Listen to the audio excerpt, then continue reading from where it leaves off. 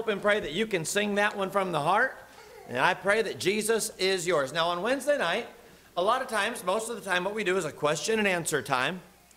And uh, I say most of the time because it's not always what we do. And uh, we have had guest speakers on Wednesdays. And, and if the Lord leads to do it differently, we'll have just a message that I believe the Lord has led. Um, I have three questions with answers right now that um, I can deal with, but I'm going to ask right off the top before we go into any further. Um, does anybody have any questions in relation to what they would like as far as an answer from the Word of God? Can I tell you this? That's where you need to get your answers from, okay? So, anybody have a question about anything that they would like an answer from the Word of God on? Any questions at all? Yes, sir? About dragons? They exist. Oh, you don't want to just stop there?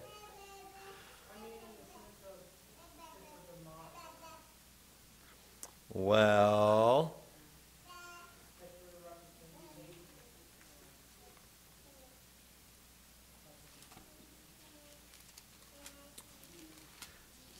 Well, I, I will say this. Um, we'll go into Revelation and we'll see a verse. Okay?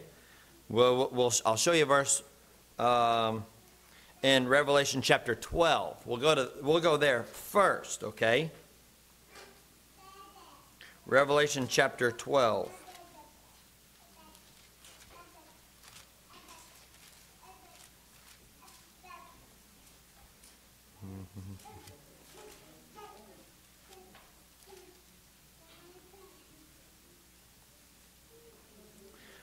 All right, Revelation chapter 12 about dragons. We are in a generation that what we take is we take history. And we what we're doing now is we're trying to rewrite everything of the past. We want to criticize every one of the founding fathers. We want to make them all heathens. We want to make them all drunks. We want to make them all just ungodly men, and some of them were. Some of them were, but not all of them. And the further we get away from those days, we can write whatever we want, and who can question us? Because those men can't answer for themselves. And so we're rewriting and we're twisting things. And, and so in Revelation chapter 12, I want you to look at one verse here. Verse number 7. Revelation 12, 7. This is a this is one of those the knights on their steed with the dragon fighting. Revelation chapter 12, verse 7 says, And there was a there was war in heaven. Michael and his angels fought against the dragon, and the dragon fought and his angels. We think about that? You don't understand it. Why not?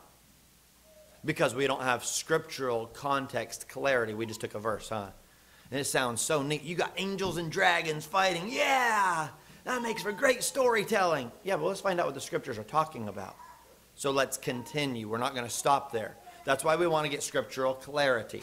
So it says in verse 8, and prevailed not, the dragon and his angels prevailed not, neither was their place found any more in heaven. And the great dragon was cast out, that old serpent called the devil and Satan, which deceiveth the whole world. He was cast out into the earth, and his angels were cast out with him. Now, I believe the description of the devil himself, of Satan himself, the description of the dragon, the description of the serpent, I believe this very description itself represents dragons throughout all of history. I believe they're all serpent like, okay? I believe that. Now, he was called a dragon, he was called a serpent. Now, if you look in the book of Genesis, chapter 3, Genesis chapter 3, dragons, according to depictions and historical pictures, now I've never seen one, but according to drawings and paintings and pictures, what do they have? They have serpent like bodies, every one of them. They have legs, don't they? And some of them walk around on land in fictional books. Read the fictional books about the knights, and they fight dragons that walk around and fly around, don't they? Those are fictional ones. But in paintings of people who say they sighted them and have seen them, where do they see them at? Where do they act- the actual sightings occur? Mm-mm. Water. They sight them around water. The drawings of these dragons that are overturning boats and everything else, they're water creatures. They're around water, but they breathe air.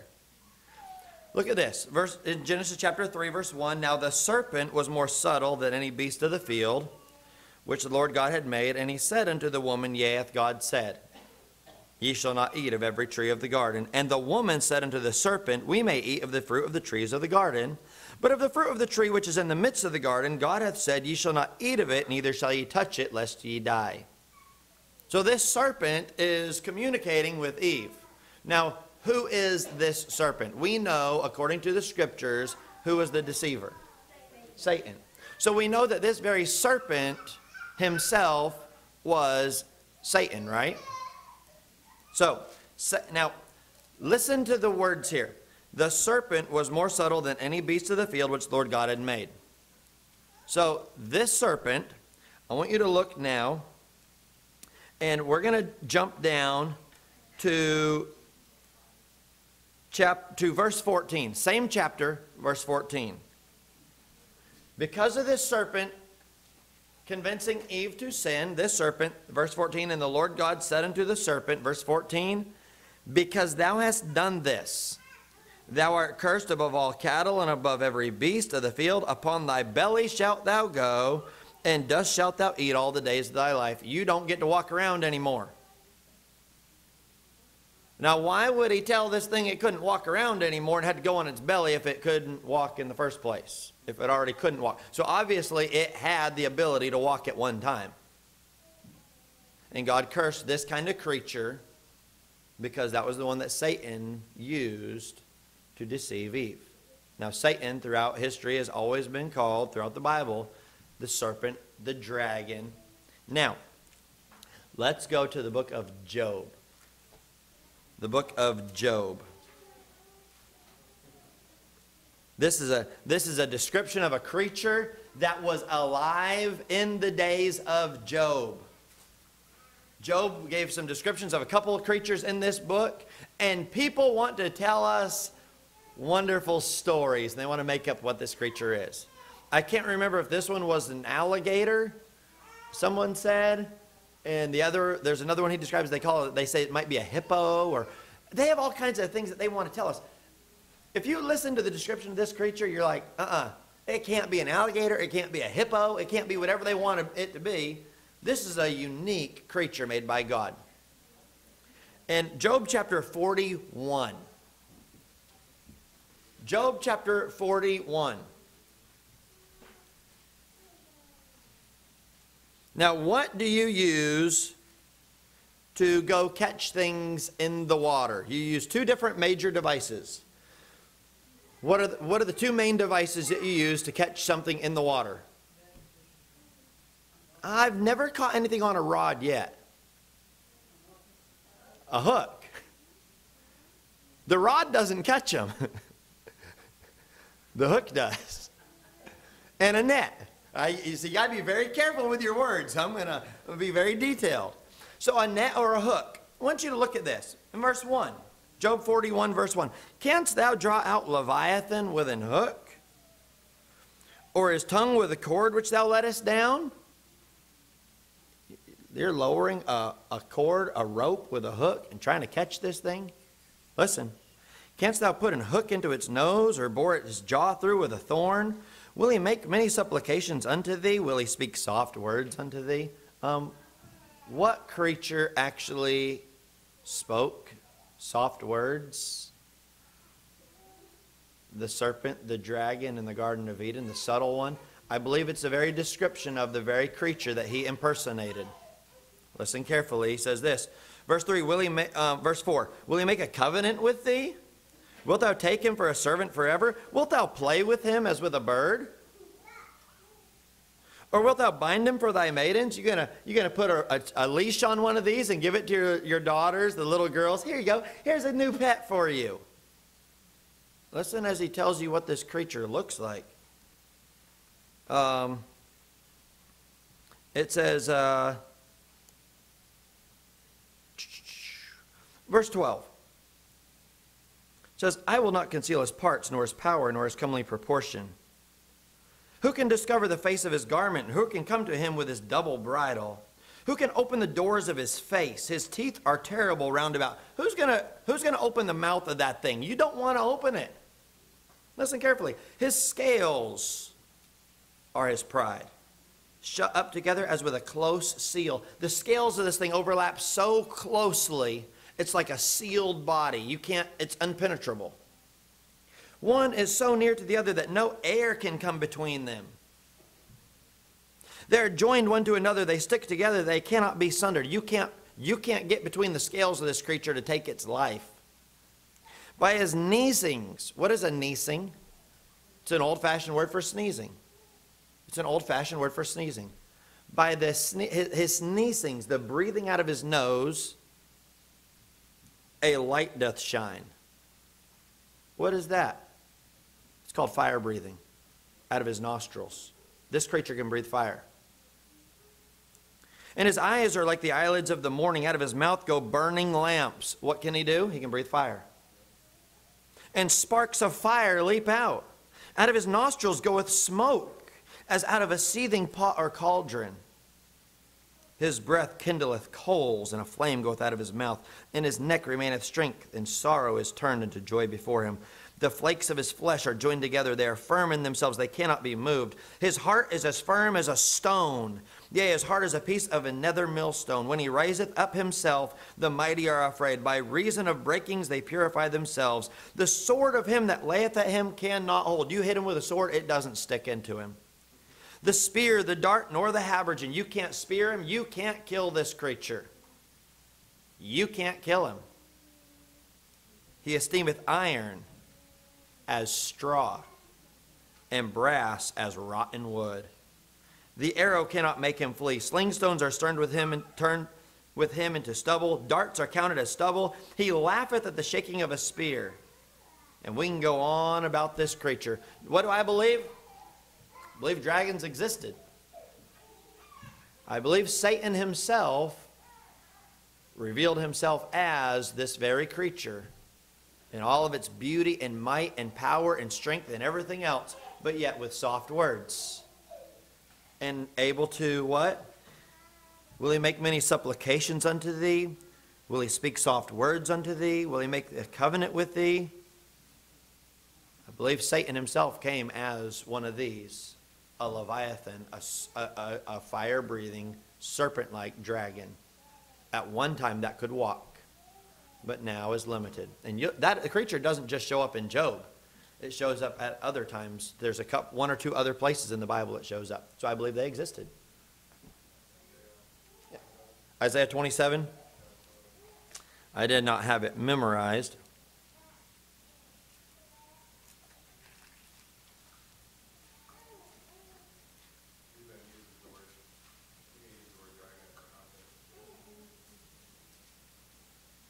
Yes. Isaiah chapter 27, verse 1. Isaiah 27, 1.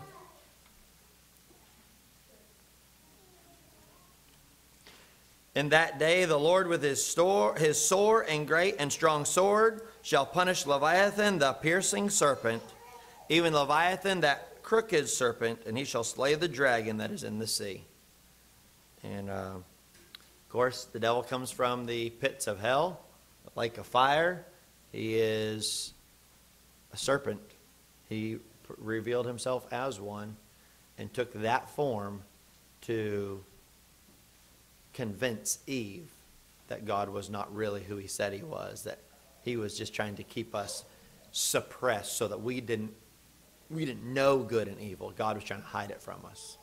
And uh, you know that's the biggest thing the world does. They try to convince you that God's keeping things from you and that you're really missing out on some things in life. But I do believe according to the scriptures that there are or at one time were dragons that there is at least one dragon still alive. At this point, Satan, the great dragon, because the, in Revelation that has not been fulfilled yet. So that will be fulfilled. So he is still in existence. And do I know what is in the seas and the oceans of our world to this day? We still have no clue what's down there. And we have all kinds of theories up and down. I'm not going to I'm not going to speculate one way or another. I'm going to say there's some of them that are so deep things could exist.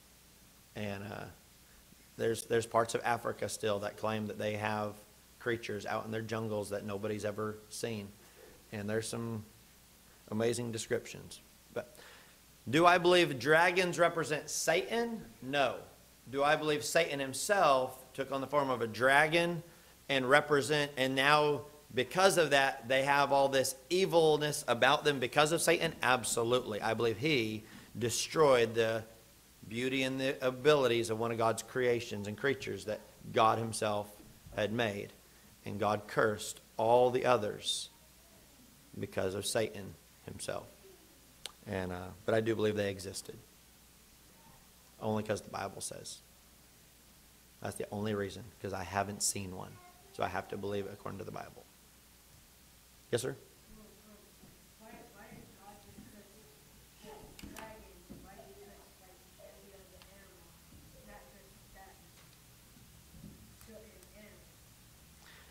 Why did he curse that certain animal and not every other animal?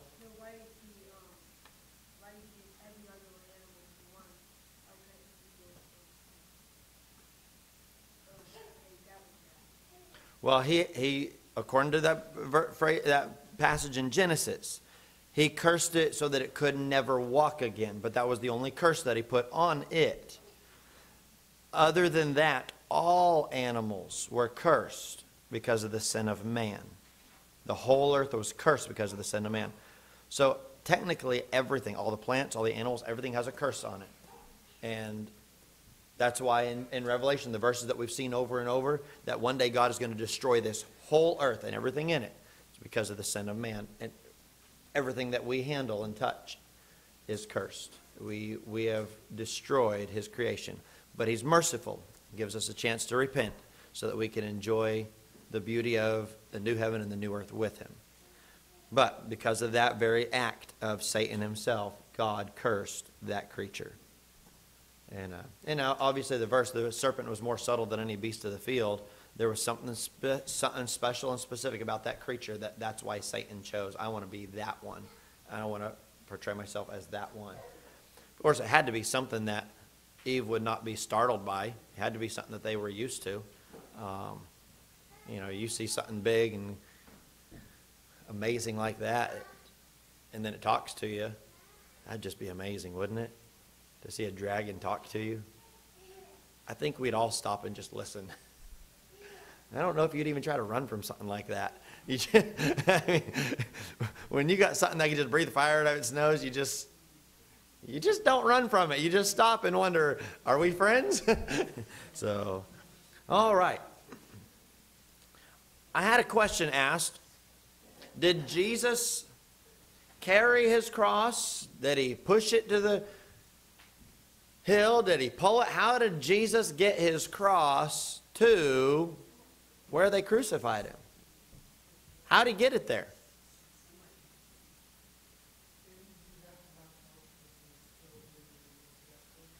But where do we find it? Exactly. That's why we got to find out what the Bible says, huh? Let's go to Matthew. I've got, I've, I've got a few verses I want to show you. If, you. if we understand the context of Scripture, I want to show you something that I think was very interesting to study out. Matthew chapter 27. I'm going to go to all four Gospels, okay? I'm going to take a moment. I'm going to go to every one of these Matthew, Mark, Luke, and John. We're going to find a verse in all of them. And then I'm going to take you to one more of that. I've got five verses written down on this that I think will be very interesting. Um, we're going to start in Matthew, Matthew chapter 27. Now, if we if we understand, and I do believe that there's a way that these men all wrote these books that portrays Jesus in a different sense. So if you think along those lines, if you think along those lines, then you will understand, I believe, some things. I believe Matthew wrote about Jesus as the king. Okay? If you study the whole book of Matthew, it portrays Jesus in a kingly fashion. I believe Mark wrote about Jesus as a servant. If you study the book of Mark, there's things that Mark didn't write about and did write about. And all these men wrote about different things in different ways. And Mark shows Jesus as a servant, always a servant of man, always serving other people, serving people. Luke, if you study, Luke wrote about Jesus, I believe, as a Jesus as the man that he was. Just as a man. And then John, I believe, writes about Jesus as God. Now, they all will refer to Jesus in the different aspects. But I believe that the, a key theme that you could look at when you look at those books have those thoughts behind them Jesus as king, Jesus as servant, Jesus as man, and then Jesus as God. And if you keep those in mind, you'll see some things in those books I believe that'll give you some understandings that are just inspiring as far as studying those books. So, Matthew chapter 27, look at verse 31. Matthew 27, 31. Listen up. If you have a question, you're going to want an answer from the Bible, right? So listen carefully. Matthew 27, 31. And after that, they had mocked him. They took the robe off from him and put his own raiment on him and led him away to crucify him. And as they came out, they found a man of Cyrene, Simon by name. Him they compelled to bear his cross. They leave, they walk him, it says they led him away they came out and then they got Simon to what? Bear his cross. Matthew sees this event. Jesus comes out and they get a man named Simon to carry his cross. Let's go to Mark. Keep that in mind. Mark chapter 15. Mark's testimony Mark chapter 15.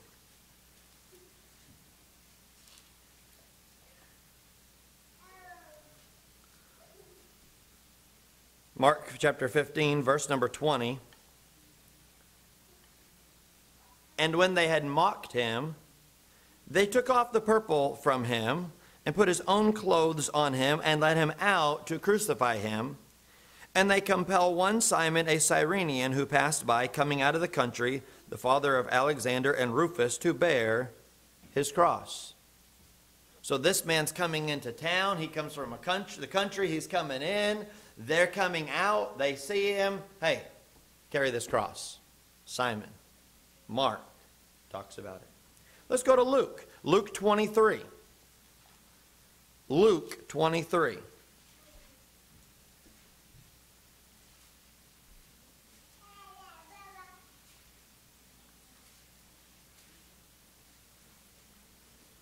Luke chapter 23, we're going to read verse 26. And as they led him away, they laid hold upon one Simon, a Cyrenian, coming out of the country, and on him they laid the cross that he might bear it after Jesus. So who carried the cross?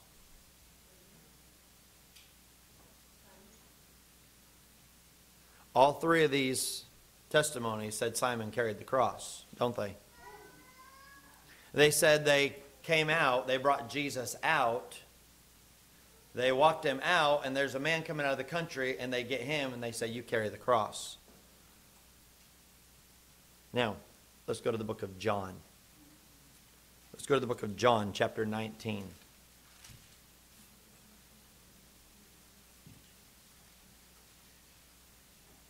John chapter 19.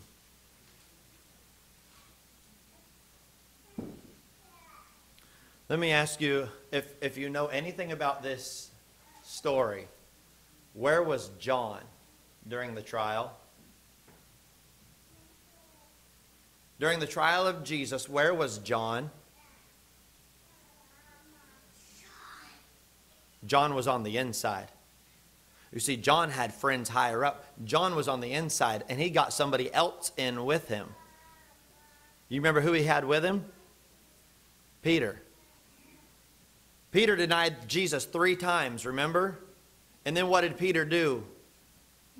What did Peter do after he denied Jesus three times? He leaves.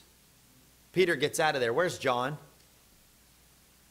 Picture the trial. John's on the inside. John's the city is getting ready for the, the Passover week. The city is People are getting ready for the past. They're getting ready for the major events. Jesus is on trial. Peter's on the in, or John's on the inside. Everybody else is getting ready. The trial happens. I want you to picture this. John chapter 19, verse number 16. Then delivered he him, therefore, unto them to be crucified. And they took Jesus and led him away. And he, bearing his cross, went forth unto a place called the place of a skull, which is called in the Hebrew Golgotha, where they crucified him. Who carried the cross there?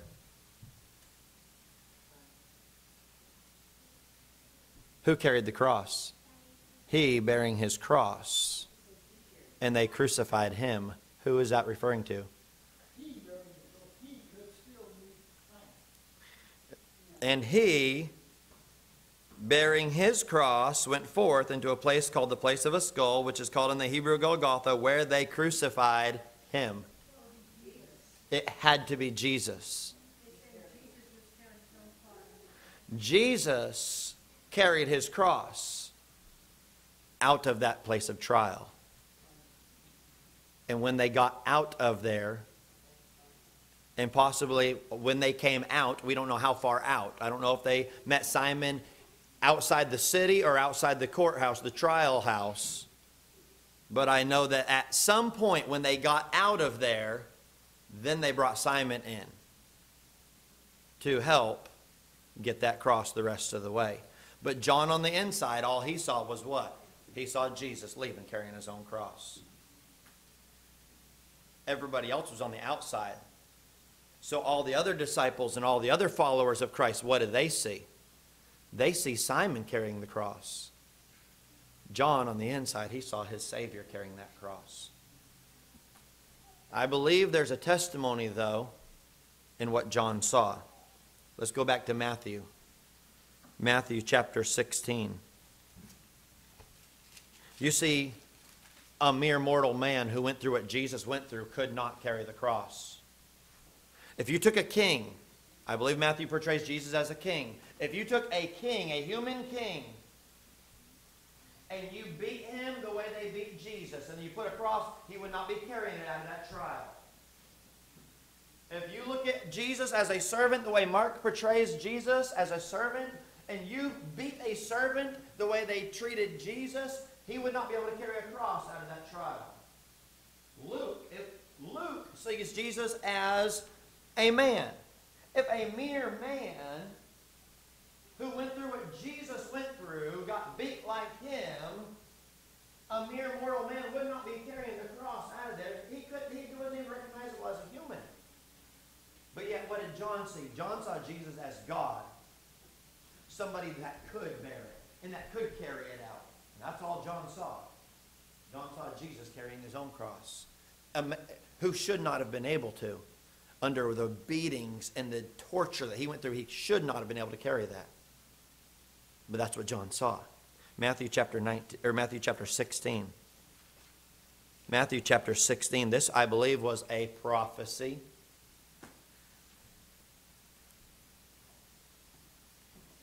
Matthew chapter 16, verse 24. Then said Jesus unto his disciples, If any man will come after me, let him deny himself and take up his cross and follow me. And I believe that's what John saw. He bore his own cross. No, maybe he didn't carry it the whole way. But the one passage says he bore Simon bore the cross after Jesus which has an implication that maybe Jesus did carry it all the way. Maybe he just had a helper that grabbed a hold of it with him. I don't know. Maybe. Or maybe he grabbed the cross and followed Jesus as Jesus walked up. But I do know this there was some point in there at the very beginning that John saw something different that the others didn't see. But remember, John was on the inside, the others weren't. And John saw Jesus bearing his own cross and carrying it out. Quite thought provoking, isn't it? When you think about what really takes, took place at the crucifixion of Jesus. Now, I did have a couple other questions. One I will bring up next week.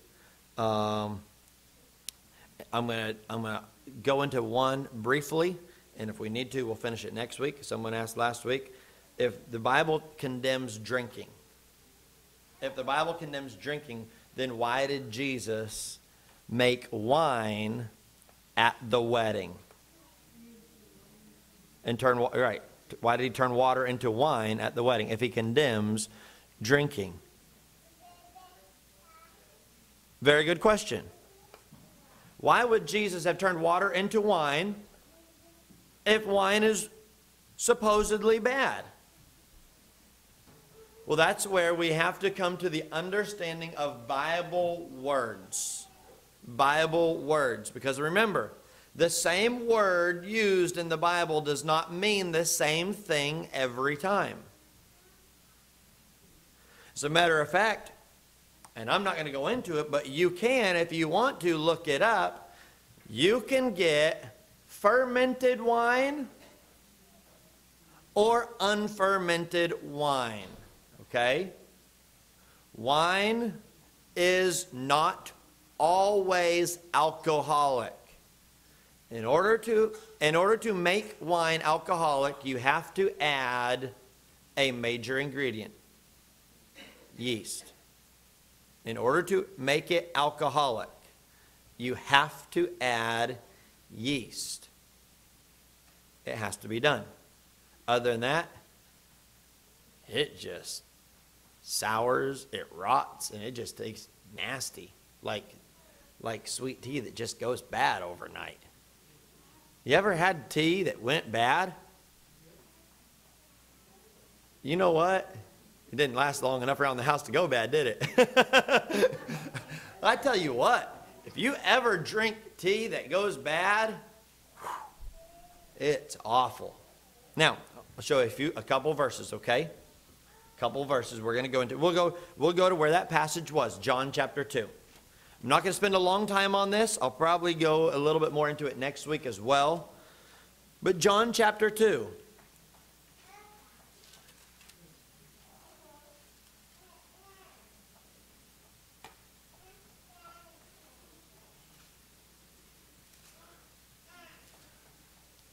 I do not understand why people want to claim that this whole time it was an alcoholic wine and that they gave an alcoholic wine to these people until they got so drunk they couldn't handle it and then they would imply that then they'd give them even worse alcoholic wine. It just doesn't make sense but people want to claim that I do not believe in this passage at all that anything that it's referring to was alcoholic. Okay, I don't believe that. And I can show you um, some of the things in the Old Testament, but I want to look at first, let's look at um, verse number 9. We know the story of Jesus turning water into wine. I'm going to start here, and then I'm going to jump backwards. But in John chapter 2, verse 9, they fill these water pots with water, right? And then they take them to the ruler of the feast, the governor of these, the guy that's in charge of the food, the pr- food preparation for this wedding.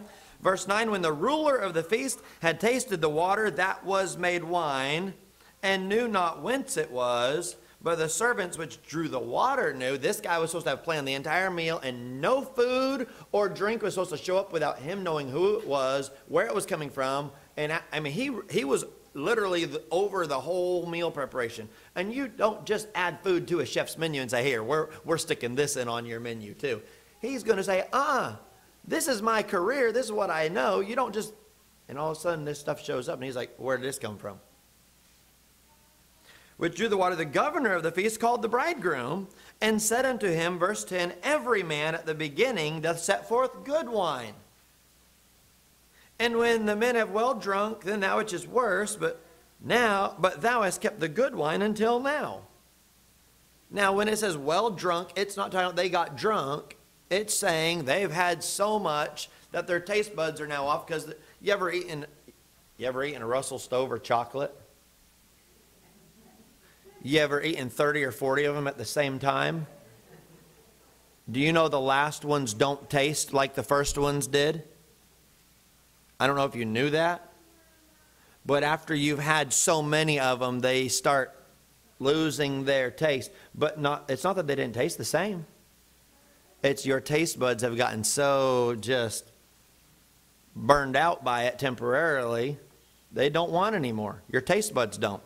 Even though your brain says, I like chocolate, and your stomach says, keep feeding me, your tongue says, it's just not tasting the same. Says you start out with a good wine, and, all, and when everyone's had their fill, and they've, they've had so much, you stick the old stuff out, the, or the, the stuff that's not as good, just not as fresh, not doesn't have the, as good a flavor. You stick it out there. Listen to this though.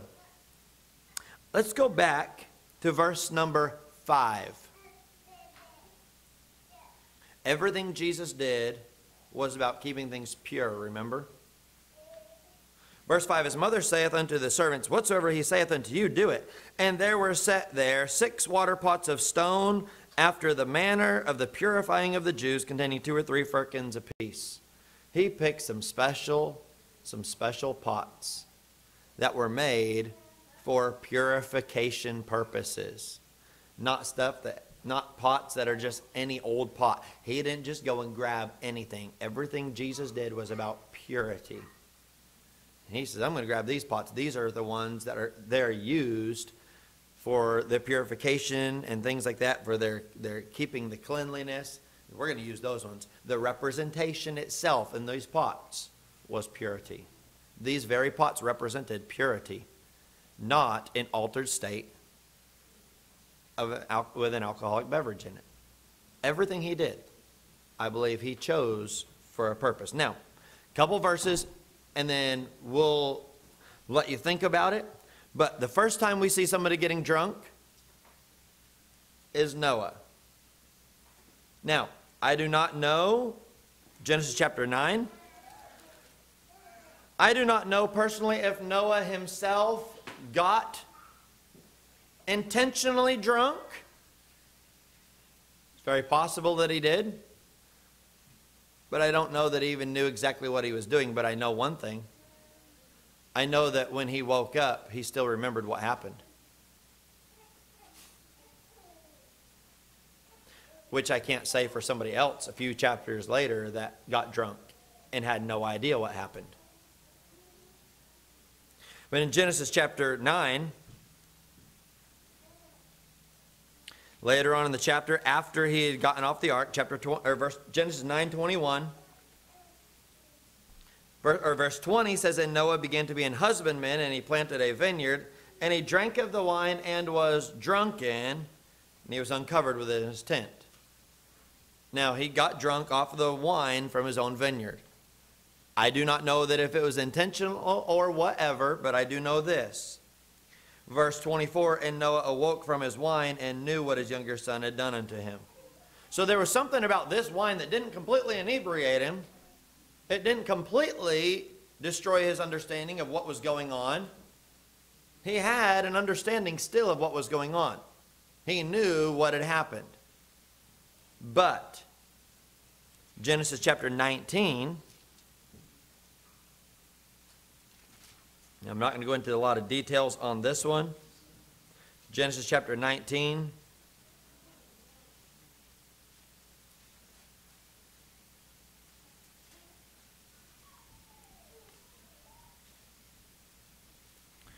We have a man named Lot who gets drunk. And verse number 33, the very last phrase, I'm just going to read verse 33. The Bible says, And they made their father drink wine that night. And the firstborn went in and lay with her father, and he perceived not when she lay down nor when she arose. He had no clue. And then it happens again.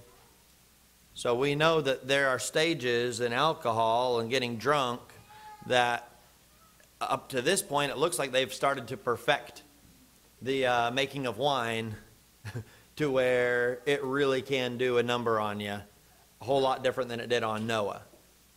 Noah was able to still wake up and understand what was going on. He didn't have a clue. Lot didn't.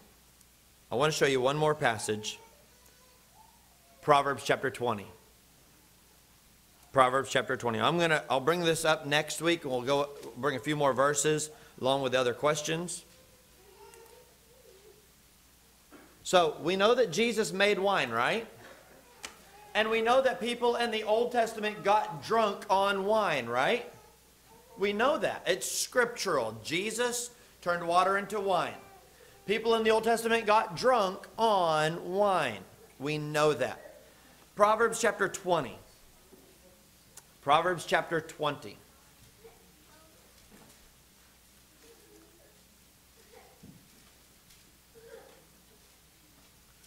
There has to be a difference in the wine. The, the very one, there has to be a difference, or Jesus was not the Savior. If there is not a difference in the two types of wine, then Jesus is not God. Then Jesus is actually a pawn of Satan himself. Bible says here in, in Proverbs chapter 20, verse 1, it says what? Wine is a mocker. Strong drink is raging, and whosoever is deceived thereby is not wise. So if Jesus was giving away wine that would cause you to be deceived, that would inebriate you, then Jesus himself was a pawn of, of Satan himself. If he's giving away wine if Jesus was giving away alcoholic wine that would inebriate the mind, then Jesus was sinning. Because according to here, that kind of wine is whosoever is what? Deceived. Who's the deceiver? Satan. He's a liar from the beginning. So if Satan is the deceiver and this kind of wine is deceiving, then if Jesus gave away that kind of wine at the wedding, then Jesus would be part of deceitfulness which would make him a sinner and not God. So there has to be a difference in the two types of wine. There has to be. Or Jesus himself is not who he said he was. And we need to look somewhere else. Now, there's a lot of other verses. I've got a bunch written down. That is just, I'm going to leave you with that just for tonight to think about. That when we drink things and we take things into our body that actually inebriate, destroy the mind intentionally, destroy the ability to act, when we do something that literally deceives our own life, and we think, well, it's just helping me feel better. Is it? Most people drink for two reasons personal pleasure. It makes me feel good. Now, it might not makes it. And another major reason is helps me forget something. Helps me forget. One, it helps me feel good. Makes me, I see things that aren't really there. I, I, I don't like to mock.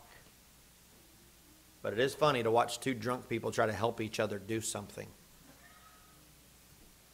You just sit there and you wonder, do they have a clue? I mean, they they just do some crazy things and they think they're helping each other and they're not. They think they're helping each other. I've been around the military.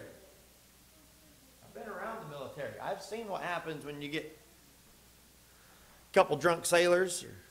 They try arm in arm trying to walk themselves somewhere. You've seen it. It's very helpful, isn't it? I mean, people, people's lives are benefited by that, aren't there? No. It's deceitful. You walk out of there thinking, everything's wonderful. I feel great. I don't have a care in the world. Why? You can't have a care in the world. Your brain cells have been fried. You can't have a care in the world. You can't be thinking properly. So, with just that thought in mind, if Jesus gave alcoholic wine at the wedding, then Jesus himself was part of deception.